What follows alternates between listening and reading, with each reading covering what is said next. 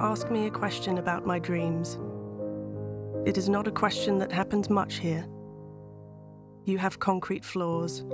You have clean water inside your very own house. Your children go to school, and you do not think anything of that fact. This is not what we know here. Sometime when I dream, I think of ghosts.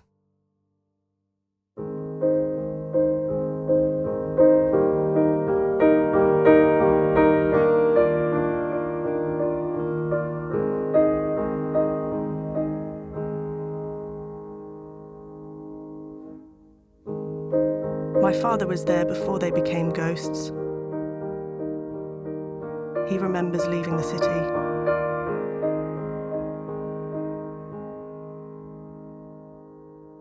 Of the hunger, always hungry. He does not like to speak of that time.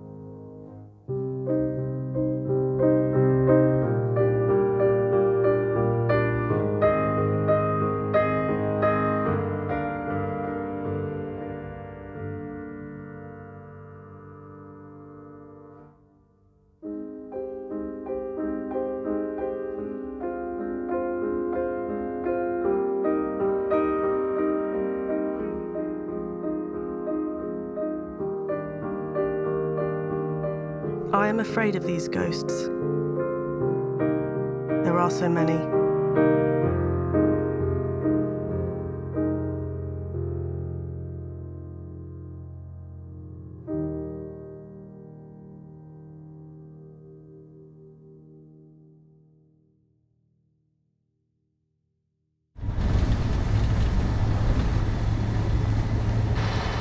I still dream, I have hopes. My sister, she wants to be a doctor. That means she must go to school. Someone must pay for that. To find the money. It is in Phnom in the sewing factories. My parents did not want me to go to the city. But where else is there to go? What other way is there to make money? It is the only road. So my father, he finally says yes and I go to work in the factories.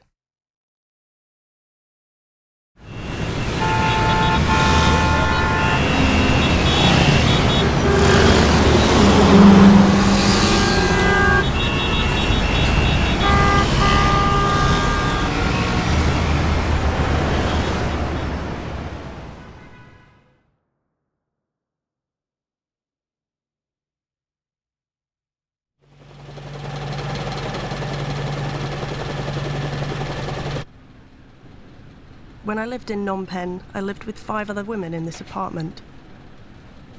We are relatives and friends, so we look out for each other. This many people in one apartment, it is fine for sleeping, but it is not easy to cook or bathe or do the laundry. We take turns with each thing.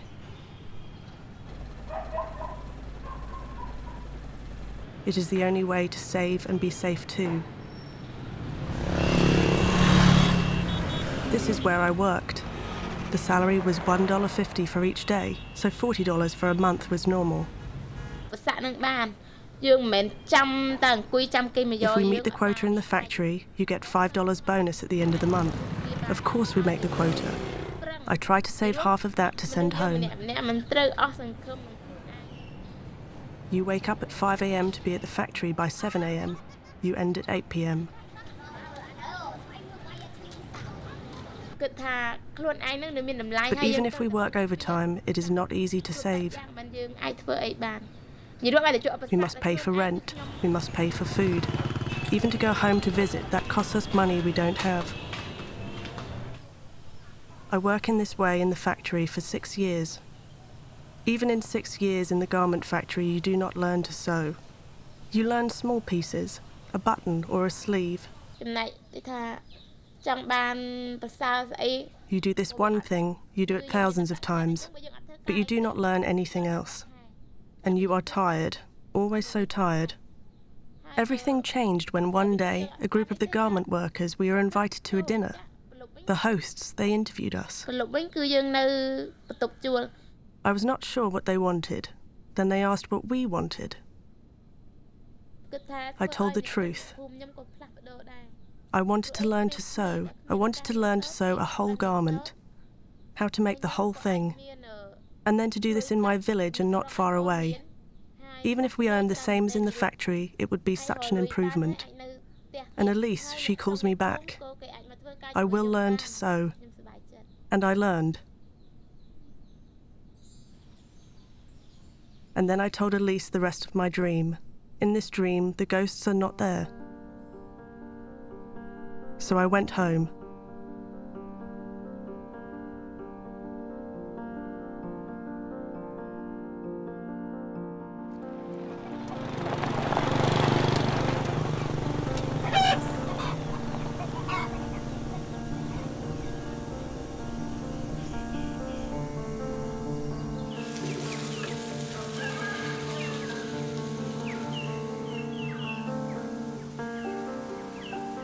My village is called Tramung Trum. This is where I grew up. It is a long walk or ox cart ride from Phnom Penh, perhaps 60 kilometres. But here the water tastes better.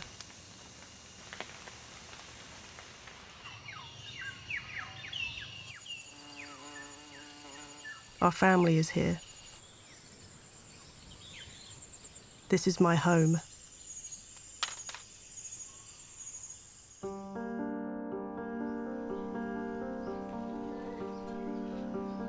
Alan and Elise, they help with the first sewing machines. I begin to teach how to sew in my own village. I taught for two terms 12 women. They all learned to sew. I said if we sew at home, we can stay with our families. We can help our parents. We can grow food. We can keep money in our home and village instead of in a city. This is what I told them. And now we are all in our village and we all sew here. From these women, eight of us created a group, an association we call Red Dirt Road.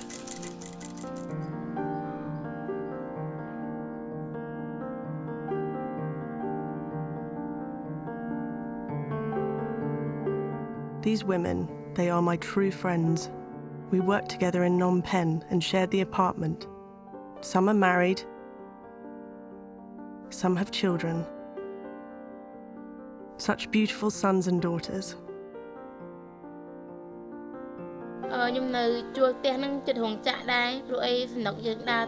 Before Hab Pass, she could not see her child for months.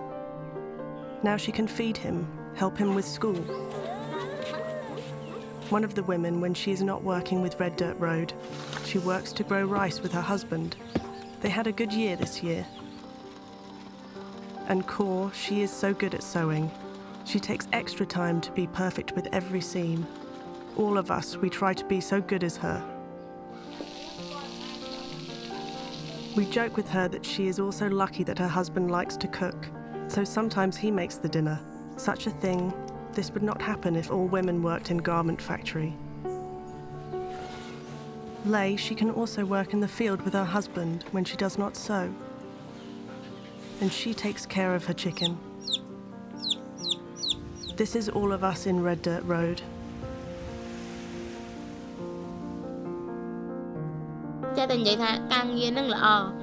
Me and all the women, we all have a similar dream to make the money so our children can learn and not be ignorant like us. I tell you this we know we are ignorant. We are without school. We cannot let this be the way for our children. It is why we work so hard. But when we first start, we sold nothing. No one came to buy our dresses and shirts. It is not because they are bad, but it was too much to compete against garments from the big factory.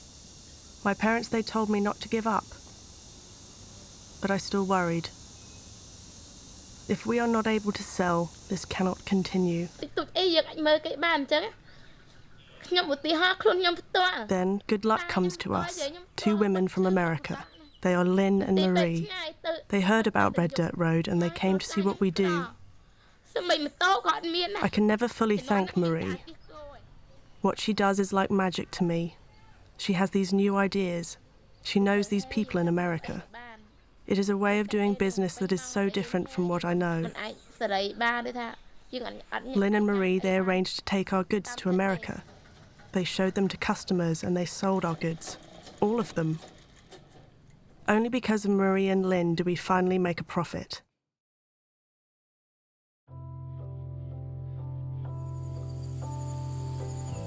And we grew.